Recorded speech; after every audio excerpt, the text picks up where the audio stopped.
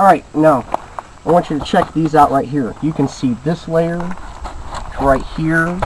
You can see how it kind of layers off here. And because these are really young layers, you can just, all these rocks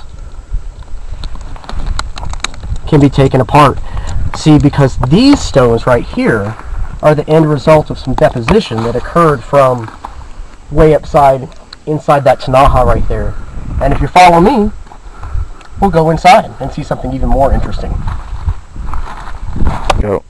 These rock layers right here are a little older than those over there because you can see that this is a conglomerate rock layer. It's got all of these big stones in it, just like over there, but everything in between has cemented together. And this has been exposed because of weathering and erosion. And what we saw down there is what was deposited from right here. All right, well, see this layer of rock right here that I'm walking on has been thrust up like this because of internal pressures in the earth. And you can see that right over here, this layer of rock is part of these strata layers of rock there. And you can see how they were shoved up by the heat and energy from the mantle. And as we walk further into the Tinaja, it's going to get even crazier. Let's go.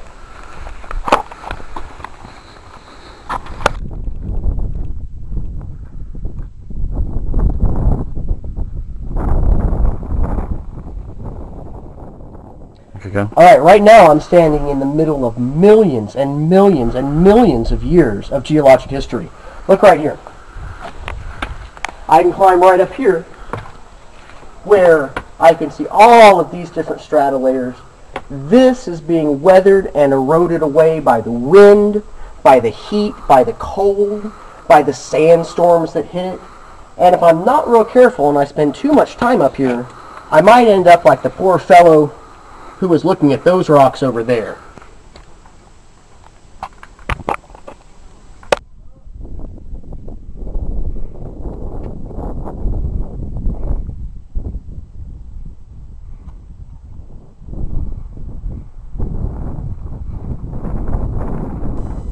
When you think about all of the water and all of the energy that pours down through this canyon when it rains, it's not hard to understand how a rock like this can turn into a rock like this in a few hundred million years.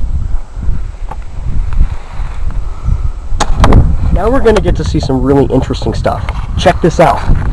This rock layer right here goes along this way, but something in the earth, some kind of force from underneath, pushed up right at this place.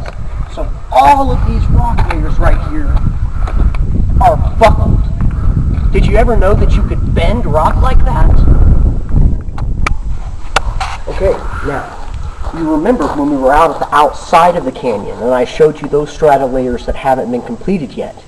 And I promised you that inside we'd see some really crazy stuff.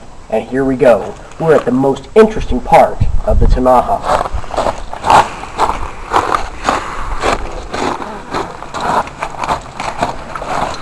Millions and millions of years of weathering, erosion, and deposition has cut away the rock layers right here. So you can see how these rock layers on this side match up precisely with the rock layers on this side.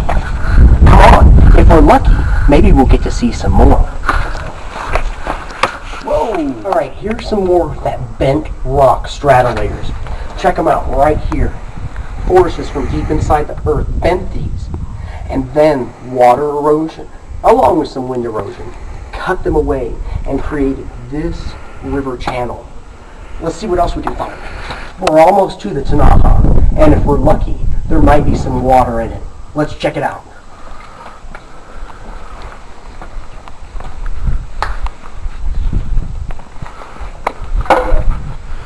Wow, this is one of the only water sources for all of the organisms in the desert.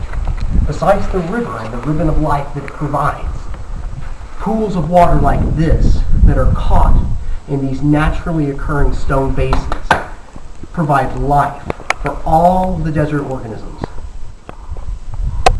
Hey, thanks guys for coming with me on my hike up Ernst Tinaja. This is day five of the Big Bend excursion, and I'm glad you could be here with us.